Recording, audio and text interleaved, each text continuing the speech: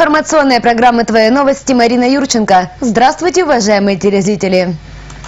Этот выпуск последний в 2013 году, и поэтому мы решили сделать его не вполне обычным. Через несколько секунд вас ждет поздравление главы города Андрея Харченко, дайджест, на наш взгляд, самых интересных событий года уходящего и напоминание о необходимости быть особенно осторожными.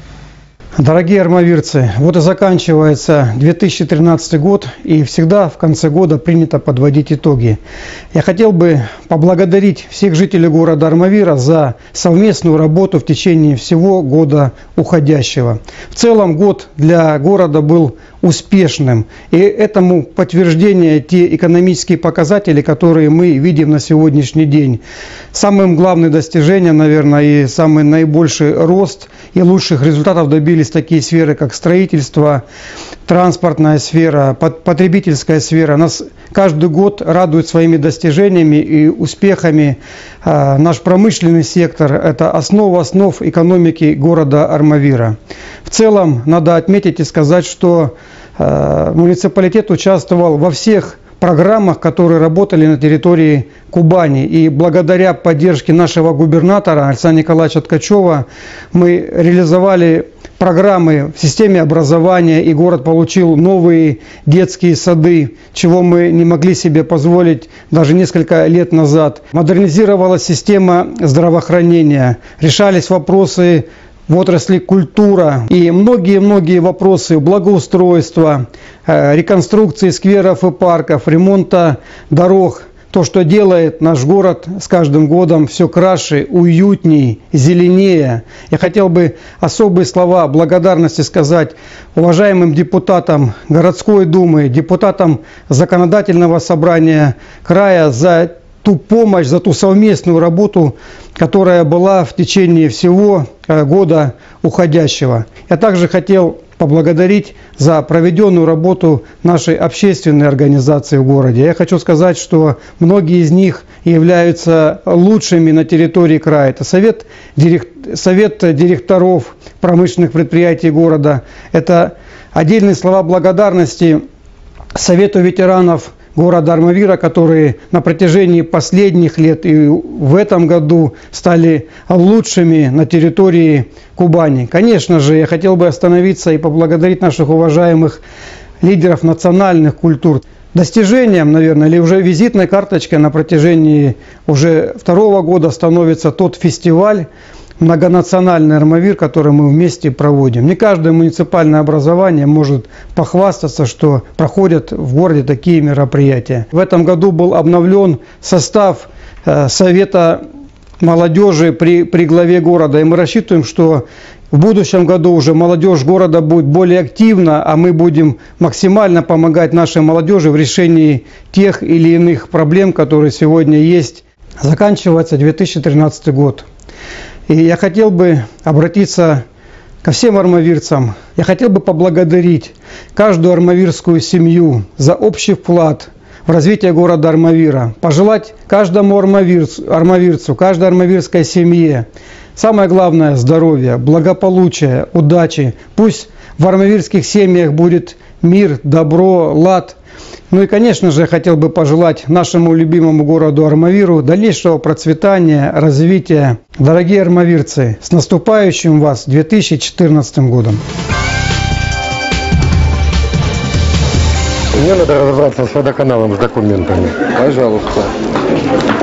Вот вам талончик на окошко номер 15. Слушайте, номер вас вызовут. Спасибо.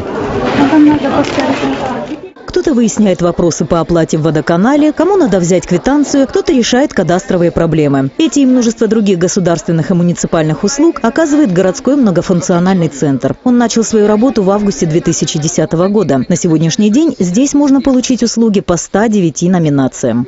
На сегодняшний день, вот по итогам 2013 года, к нам обратилось около 167 тысяч жителей города Армавира а по различным вопросам.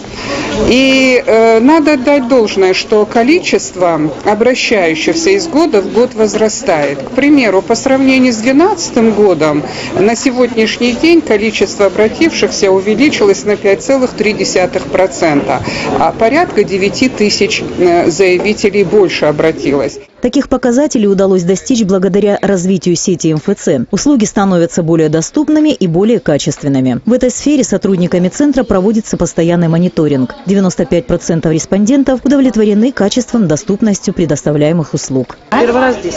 Мне очень понравилось. Я пришла, только нажала на кнопочку, номерочек мне дали. Через две секунды я уже сижу. Я сижу, а не стою. Вы понимаете, стулья везде, удобно, ни скандалов, ничего. Пришел, обратился, нам дали документы, какие вам нужны квитанции, там еще что-то. Это очень удобно и быстро для всех.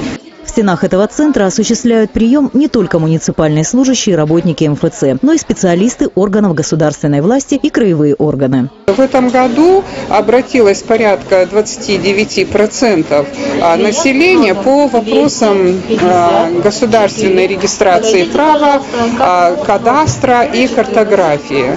А, То есть э, это тоже очень положительный момент, что бесконечные очереди, которые раньше были непосредственно в офисах этих э, государственных структур, они сегодня ушли, потому что здесь, в многофункциональном центре, они могут получить в режиме одного окна э, доступно, качественно, э, очень быстро э, эти услуги. Муниципальные услуги были предоставлены около 23% обратившихся. Это стало возможным благодаря бюджетным средствам, выделенным в мэрии на программное обновление. То есть, если необходимо решить несколько вопросов, высиживать в очередях и брать отдельные талоны не нужно. Также можно заказать, э, прийти и набрать талон на предварительную запись, то есть выбрать время определенное, м, когда вам удобно. Заказать на э, тот день недели, на, то- на определенное время и прийти за 15 минут до этого. Вас будут ждать в указанном окошке, назовут номер, и вы подойдете без очереди. Помимо всего вышеперечисленного, теперь мамы через портал государственных и муниципальных услуг могут стать в электронную очередь для определения ребенка в дошкольное учреждение и отслеживать через интернет, как она продвигается. Кроме этого, в крае разрабатывается единая программа «Система межведомственного электронного взаимодействия». Такого рода инновации позволят на более качественном уровне оказывать все услуги для жителей города. Анна Мельченко, Станислав Чинский, служба новостей Армавира. Край родной России сила, край заводов и полей. Губернатору спасибо, мы спешим сказать скорей. Благодарить есть за что. Совершенно новый детский сад подарен жителям северного микрорайона. Меньше года назад началось его строительство. Ударными темпами в три смены здесь трудились рабочие. Край своевременно финансировал процесс, чтобы в преддверии Дня города 20 сентября детский сад номер 18 «Непоседы» был торжественно открыт. И все получилось. Это действительно по праву один из лучших, а наверное это лучший детский садик в городе Армавире по подходу, по отношению к строительству. Но ничего бы этого не было, если бы не программа губернатора, не поддержка нашего губернатора Александра Николаевича Ткачева. Я хочу сегодня через Наталью Александровну Наумову, которая по поручению губернатора присутствует с нами на торжественном открытии нашего детского сада, передать слова благодарности от всех армавирцев, от армавирских ребят за то чудо, которое подарено городу Армавиру. За последние пять лет открытие новых детских садов в Армавире стало уже доброй традицией. Разделить радость горожан и оценить новый детский сад приехала представитель краевой власти, министр образования Наталья Наумова. В этот предолимпийский 2013 год можно точно сказать, что Армавир по-настоящему устанавливает олимпийские рекорды и в этом движении. В этот великолепный праздничный день, День города, в день открытия нового детского сада в Северном микрорайоне. Позвольте поздравить вас с этим праздником. И от имени нашего губернатора Александра Николаевича Ткачева и вице-губернатора Галины Дмитриевны Зориной передать самые наилучшие пожелания. Открытие нового детского сада – это решение сразу нескольких проблем. У родителей появилась возможность определить свое чадо в дошкольное учреждение, а у педагогов – получить новое рабочее место. За это событие благодарны были все. Дорогие Наталья Александровна, Андрей Юрьевич, хотела бы к вам обратиться с такими словами, со словами благодарности за чудесный дом, который вы нам создали. Пришло время перерезать традиционную красную ленту. Взяв в руки золотые ножницы, глава города Андрей Харченко и воспитанники детского сада сделали то, чего все так долго ждали.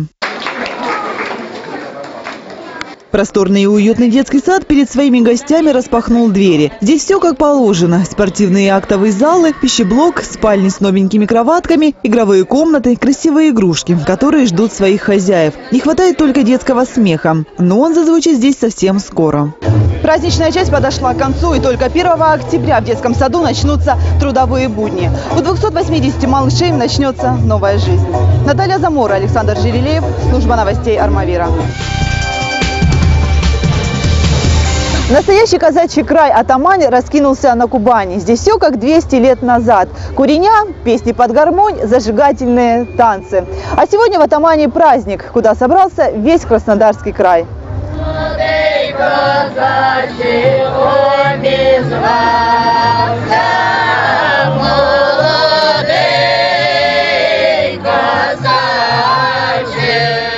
И таким весельем была охвачена вся Атамань, этнографическая станица Кубани. А гулял народ не просто так, свадьбу отмечали. Все по казачьим традициям, как говорится, пир на весь мир. Свадебные столы, ломящиеся от кубанских яств, озорные сваты и, конечно, молодая стеснительная девчина и удалой казак-жених.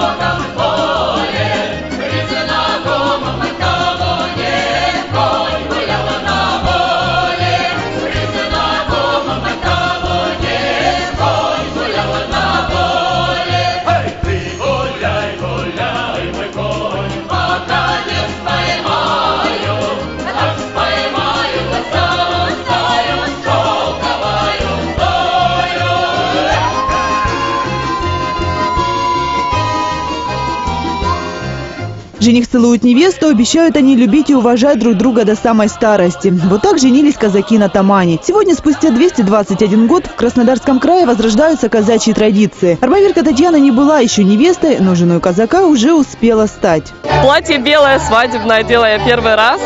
Фату, соответственно, тоже. Сама еще не замужем. Очень понравилось. Очень классно. Настроение просто потрясающее. И я думаю, очень бы хотелось в будущем, когда свадьбу свою буду играть, очень бы хотелось именно в традициях казачества сыграть свадьбу. И такая свадьба празднуется в каждом казачьем подворье этнографического комплекса. Настоящий свадебный бум в хуторе был устроен в рамках всекубанского фестиваля «Легенды Тамани». В этот раз его обозначили свадебной тематикой от Малиновки до Тамани по мотивам известного фильма «Свадьба в Малиновке». Армавирская делегация является постоянным участником праздника. В нашем подворье представлено более 200 артистов. Это наши ансамбли и русская песня, и сударушка, театр БУФ, детские ансамбли. То есть у нас очень хорошо на подворье, постоянно весело звучит музыка. Здесь представлена вся наша богатая Кубань. Есть что посмотреть, есть чему удивиться и есть э, что перенять. В этот день в Атамане собрался весь честной кубанский народ. Колорит казачьей жизни краевыми муниципалитетами был передан очень тонко. Даже кони, без которых казак не казак, красовались на подворье.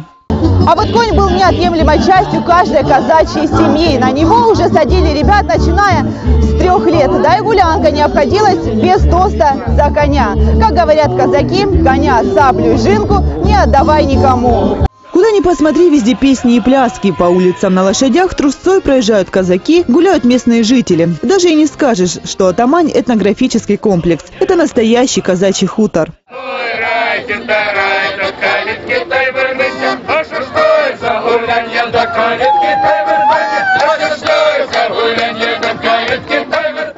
На всегубанское гуляние приехали и первые лица края. Вице-губернатор Галина Золина прошлась по всем атаманским подворьям. Заглянула и в наш Армавирский курень, где ее встретили сам Папандопола и Яков Александрович Бойко. На данный момент преступники не задержаны.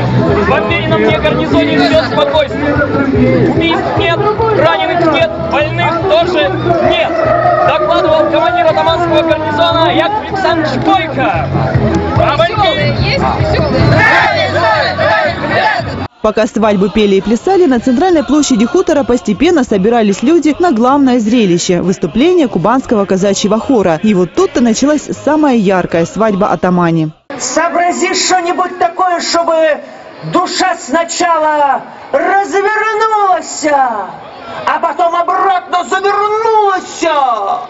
Давай!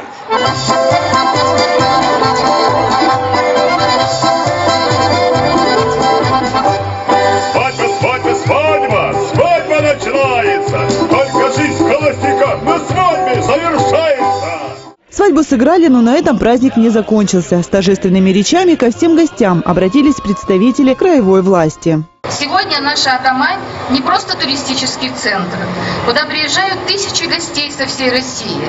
Сейчас это настоящая станица со своим укладом, настроением, ожившими легендами. Земля Тамани помнит многое. Ровно 221 год назад на берег высадились первые черноморские казаки. Здесь зарождалась наша Кубань. Я поздравляю всех, кто приехал сегодня в Атамань.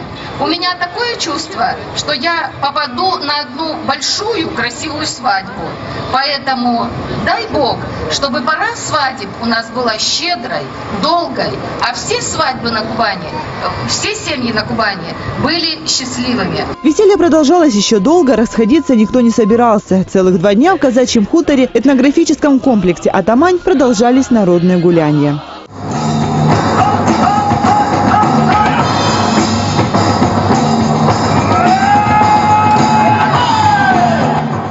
Наталья Замора, Александр Желеев, служба новостей Армавира.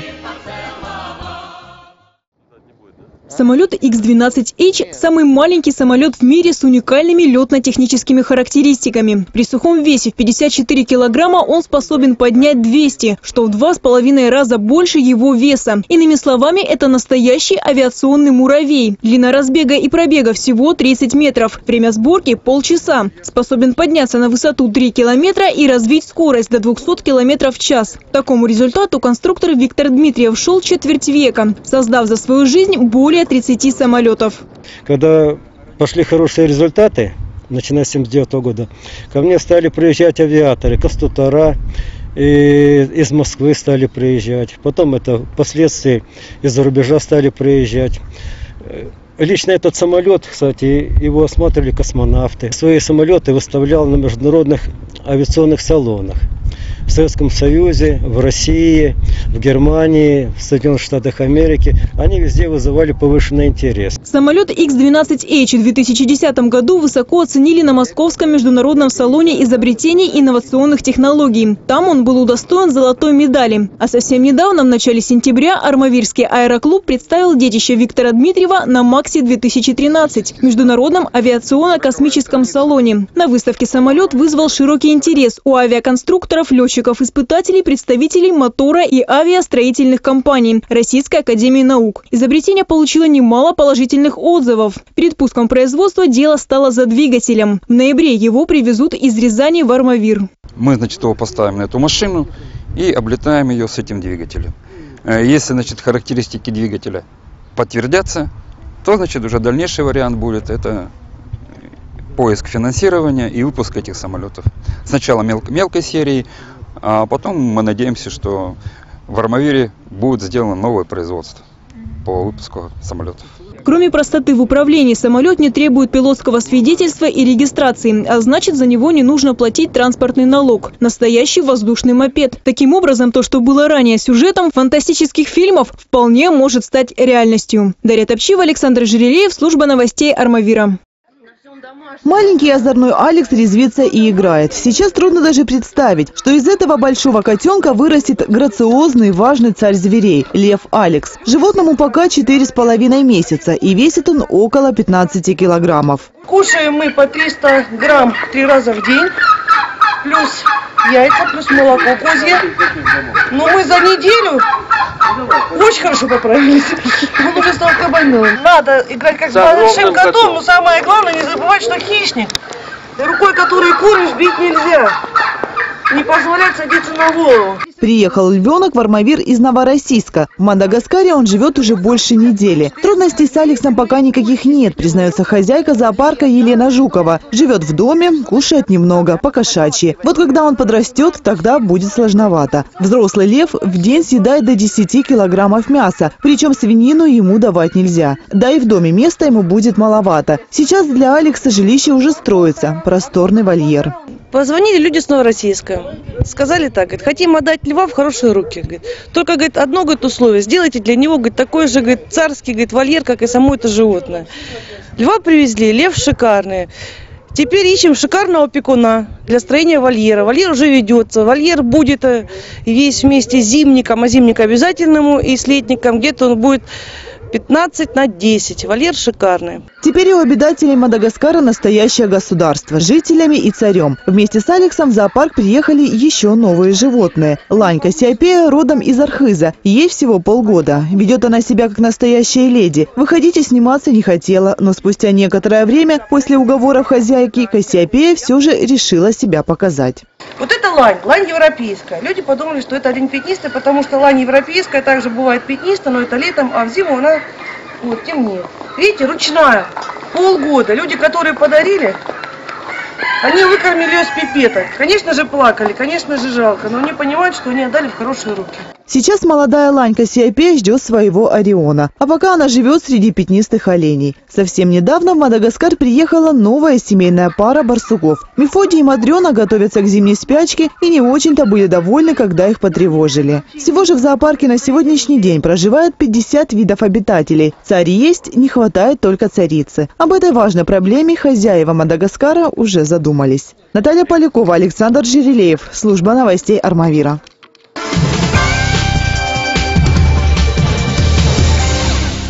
Трудоустроиться в Сочи можно было на улицах Армавира. 9 тысяч олимпийских вакансий, преимущественно в сфере обслуживания, было предложено горожанам сотрудниками мобильного центра занятости. Особых требований к соискателям не предъявлялось. Главное – желание и умение работать. В некоторых профессиях требовалось знание английского языка. Они могут прийти домой, подумать, обдумать всю полученную информацию, ознакомиться с информациями теми, которые вот сейчас мы как бы информируем, можно на официальном сайте города Армавира. То есть сидя дома, ознакомиться, обдумать все и уже окончательно с решением прийти к нам в Центр занятости города Армавира по Тургенева 106 а, на третьем этаже и уже непосредственно заполнить резюме, Составить резюме можно было и на месте проведения акции. После информация будет передана через специально созданный информационный центр работодателю. Для собеседования ехать в Сочи не придется. Соискателями проведут собеседование по интернету с помощью скайпа. Несмотря на название автомарафона «Кубанские кадры» Олимпийскому Сочи, работа в городе-курорте предоставляется не только на временной основе на период проведения игр, но и на постоянной. Татьяну Первогласенко, имеющиеся вакансии, заинтересовали. Сама она в трудоустройстве не нуждается. Решила помочь бывшему мужу. Здесь очень много вакансий, которые можно подобрать. Возраст не ограничен, если только есть желание, есть возможности и рвение. То есть можно найти любой, по любому характеру, по любому принципу. В субботу акция также состоялась в старой станице Красной Поляне и поселке Заветный. А вот тем, кто не стал участником автомарафона, расстраиваться не стоит. Всю необходимую информацию по трудоустройству в Олимпийской столице они могут получить в Центре занятости населения. Дарья Топчева, Александр Пензев, служба новостей Армавира.